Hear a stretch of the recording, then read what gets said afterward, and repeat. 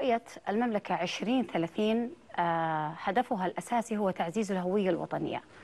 لذلك هي لا تنفك عن الصورة الذهنية.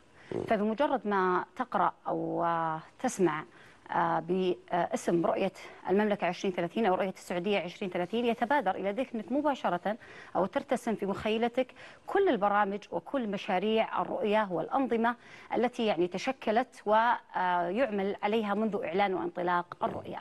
ف أستطيع يعني اختصارا وصف العلاقة بين تعزيز الصورة الذهنية للمملكة عن طريق رؤية 2030 بأني أدعوك للتأمل والمشاهدين الكرام لكل ما يحدث في بلادي بصورة أستطيع أن أقول لا تتوقف.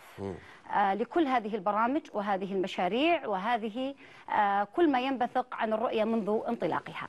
خاصة حينما نتكلم عن الصورة الذهنية ولا أريد حقيقة أن أتعمق في هذا الجانب أو أخذ بمنحى وشرح فلسفي عميق.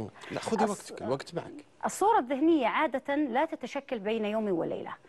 الصورة الذهنية يعني لأي أمر ما تلت يعني تحتاج لسنوات طويلة وعوامل تراكم تجارب تراكم تجارب و عوامل عديدة لتشكل هذه الصورة الذهنية. لذلك عملية إعادة بناء هذه الصورة أو إعادة تصحيحها أو أو إعادة رسم مسارها أو تعديلها بأي شكل كان تتطلب جهد كبير جدا.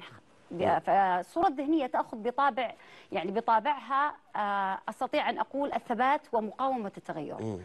فلكن رؤية 2030 ساهمت في إعادة بناء الهوية الوطنية وبالتالي إعادة رسم هذه الصورة الذهنية م. لما تحدث عن الهوية الوطنية الهوية الوطنية آه، بصورة أكثر انفتاحا على العالم ويعني آه، تجاوبا ويعني إيجابية وانفتاحا على جميع الأديان.